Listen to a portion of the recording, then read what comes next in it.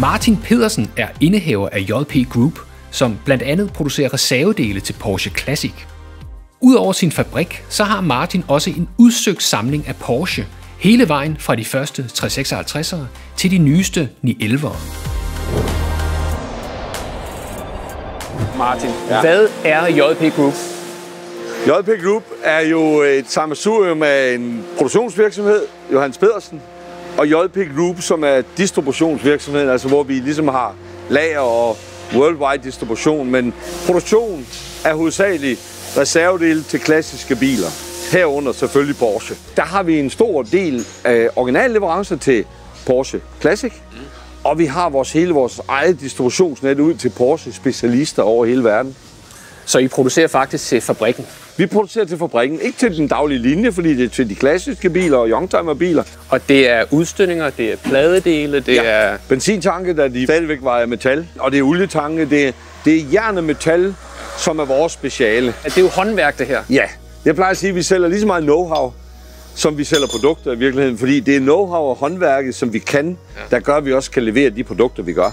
Vi vil gerne hurtigt på markedet, og vi vil gerne acceptere, at det også nogle gange er små styktal fra starten. Så vi har vores 3D-center, hvor vi kan komme noget hurtigt på markedet, hvor vi ikke har så store initiale investeringer fra starten. Vi scanner emnerne, og så kan vi overføre dem til de gamle kendte værktøjsmaskiner, og på den måde ret hurtigt få lavet nye produkter, få nye presseværktøjer produceret til korseridele eller udstødningsdele, eller hvad det nu kan være. Vi har jo kunnet se, hvordan markedet er vokset, og vi kan jo se de statistikker, vi får tilbage. Det er jo ikke bare, fordi vi ønsker, at det skal vokse. Der er, der er jo en kraftig stigning i klassiske biler, og det tror jeg kommer i takt med, at der faktisk er flere og flere benzinbiler, der bliver afløst af elbiler eller andre drivmidler. Tak for rundturen. Jamen, øh, velbekomme. Og nu vil jeg se nogle biler. De er lige her ved siden af. Hej, Martin. Ja. Det er dit værelse, det her? Det er de helligste haller for mig. Et af mine øh, showroom med klassiske biler.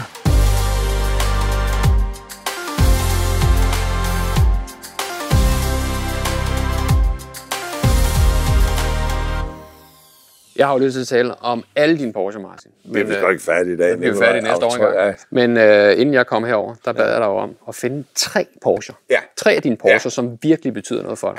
Det er svært, når man har så mange. Men jeg har valgt tre ud alligevel, og der har jeg så prøvet at respektere tre forskellige generationer også på en gang. Ja. Fordi der er ikke sådan, det er næsten ligesom, at du har mange børn. Der er ikke nogen, du kan forfordele, så man kan sige, i det her tilfælde har jeg alligevel prøvet at sige, at jeg har valgt en af de allerførste Porsche. Ja. Jeg anskaffede mig en 356 Roadster. Den øh, blev købt af en dansker i USA i 1960. Han øh, bliver pensioneret og tager den med hjem til Danmark, faktisk. Men den stod original, og det var det, jeg godt kunne lide ved den. Og den havde han kørt meget i, og det har du ja. så også set. Det har jeg også. Fornemmer jeg. Ja. ja. Min kone og jeg kørte jo et par gange til Italien i den. Ja. Det er en Super 90 motor, en 1600 S Super 90, og dengang i 60'erne var 90 heste jo noget ypperligt.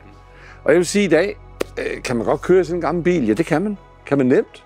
Jeg kører i dem hver år. Jeg kører i dem alle sammen, hvis I lægger mærke til det, så er de på plader. Det har jeg faktisk lagt mærke til. Jeg, jeg kan jo godt lide at bruge bilerne. Altså, ja. bilerne er smukke at se på, men de er endnu bedre at køre i. Det var den første. Yes.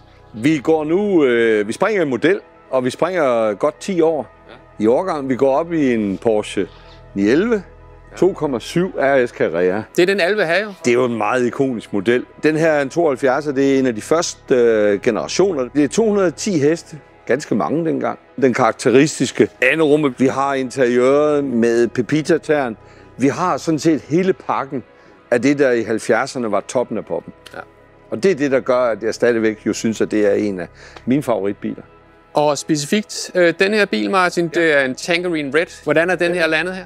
Den her landet her, fordi jeg fik en kontakt fra Tyskland, som uh, sagde til mig, Martin, hvis du kunne tænke dig sådan 2,7 RS, så har jeg altså en, en kontakt til en mand, som faktisk har en bil, som har været ejet af selveste alias Ruf, altså kongen inden for Porsche Tuning.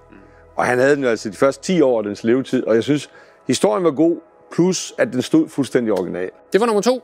Ja. Så mangler vi den tredje. Mangler vi en tredje. Ja. Der skal vi nogle generationer op. Vi skal nogle årtier op. Okay. Vi skal op i en helt ny Porsche 911, faktisk. Ja, jeg kan bare ikke se den.